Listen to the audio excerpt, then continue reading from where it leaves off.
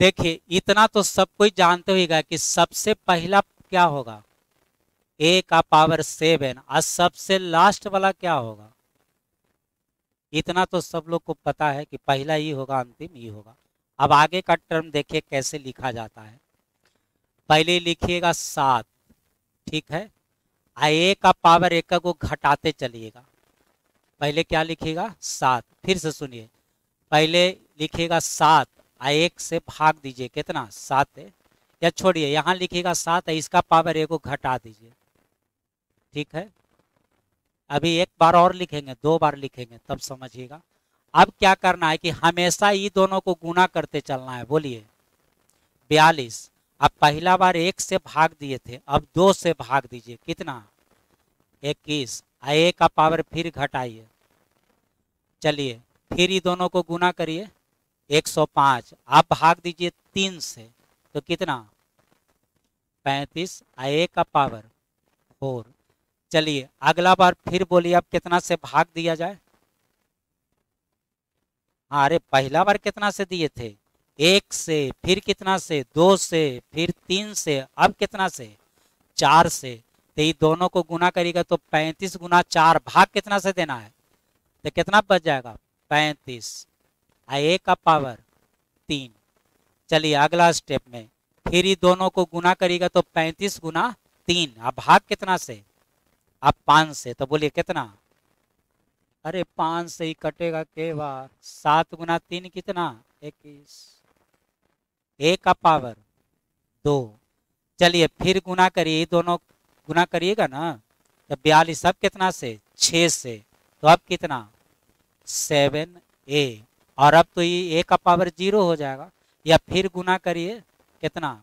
सात सात में सात से भाग दीजिएगा, एक। यानी लास्ट टर्म क्या आ जाएगा? अब रुक जाइए रुक जाइए। अब इसके बाद ए का पावर क्या आ जाएगा? ज़ीरो। तो ए का पावर ज़ीरो का मान, वन। यानी ये अब समाप्त हो गया। अब बी को क्या करना है कि एक को बढ़ाते चलना है। यहाँ से शुरू होगा। बी का पावर वन बी का पावर दो बी का पावर तीन बी का पावर चार, बी का पावर पाँच, बी का पावर छ और लास्ट में बी का पावर। हमेशा जोगफल जो है सात होना चाहिए। ये देखिए, सात है, ये दोनों को जोड़िए, ये दोनों को जोड़िए, ये दोनों को जोड़िए। हर जगह पावर कितना होना चाहिए? सात होना चाहिए। तो अब अगला बार देखिए। ए प्लस बी का पावर क्या लिखते हैं? दस। बोलिए, पहला टर्म, ए का पावर दस। अब यहाँ पर दस लिखिए, आ, ए का पावर, नौ अब बी का पावर। वन फिर दोनों को गुना करिए। नब्बे, अब दो से भाग दीजिए। पैतालीस ए का पावर, आठ अब बी का पावर, दो। अभी दोनों को गुना करिए, पैतालीस गुना आठ। कितना से भाग देना है? तीन से। तो बोलिए कितना? एक सौ बीस। ए का पावर, सेवन और बी का पावर, तीन। चलिए, फिर सात गुना कितना? एक सौ बीस। अब भाग कितना से देना है? चार से। तो इसमें चार से भाग दीजिए। तीस गुना सात बोलिए। दो सौ दस। अब ए का पावर छ, अब बी का पावर चार। फिर ही दोनों को गुना करिएगा तो 210 गुना कितना? छ। भाग कितना से? पाँच से। तो पाँच से ही कटेगा बयालीस बार। बयालीस गुना पाँच, दो सौ दस होता है। तो बयालीस गुना छ बोलिए। अब ए का पावर पाँच, अब बी का पावर पाँच। फिर ही दोनों का गुणनफल, अब भाग कितना से? छ से। तो छ से बयालीस बार तो बयालीस गुना पाँच कितना? दो सौ दस। अब ए का पावर अथी चार ना। अब बी का पावर छ। फिर ही दोनों को गुना करिएगा, भाग कितना से? सात से। तो ये दोनों के गुणनफल में सात से भाग दे के बोलिए। कितना? एक सौ बीस। अरे सात से इसमें भाग के बार। तीस गुना चार, एक सौ बीस।